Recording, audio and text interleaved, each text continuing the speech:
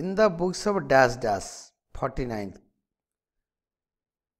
In this case, a company a company issued 20,000 equity shares of 100 each payable 25 per share on application, 25 per share on allotment and balance in two calls for 25 each. The company did not make the final call of 25 per share. All the money were duly received with the exception of the amount due on the first call on 400 shares held by Mr. Modi. The board of directors forfeited those these shares and subsequently reissued them at the rate of 75 per share paid up for a sum of rupees 28000 journalize the above transactions and prepare share capital account i have not prepared share capital account but you can do a ledger posting. Working notes application rupees 25 allotment rupees 25 first call rupees 25 400, we could not receive first call on 400 shares. Cross. Second and final call account cut 25 has not been made. Total is 100 number of shares issued 20000 shares number of shares forfeited and reissued 400 there is no partial reissue. Journal format journal entries of dash dash limited in fair notes. First entry on 20000 applications bank account debited to share application account. Being share application money received on 20000 applications at the rate of rupees 25 per application 20000 into 25 that is rupees 5 lakh debit and credit. Share application account debited rupees 5 lakh. To share capital account rupees 5 lakh.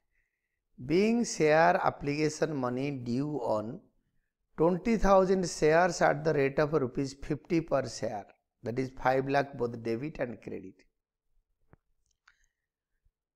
then share allotment account debited to share capital account. Being share allotment money due on 20000 shares at the rate of rupees 25 per share.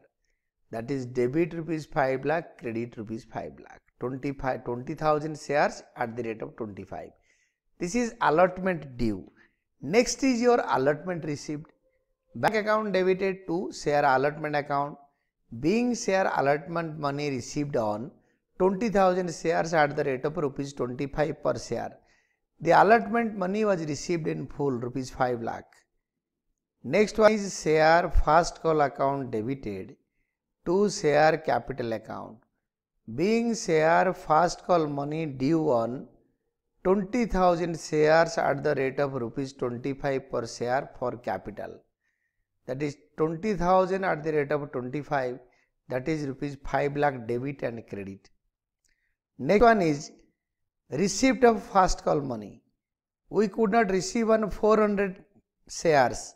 Then we received on 19,600 shares because 20,000 shares minus 400 shares. That is bank account debited to share first call account that is 4 lakh 90,000 in debit and credit. Being share first call money received on 19,600 shares at the rate of rupees 25 per share. Next one is forfeiture of these 400 shares.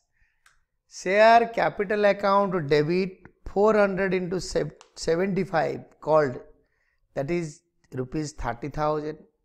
To forfeited shares account we received application 25 and allotment 25 that is 400 into 50 5 to the 5 4 is 20 20000 in credit column.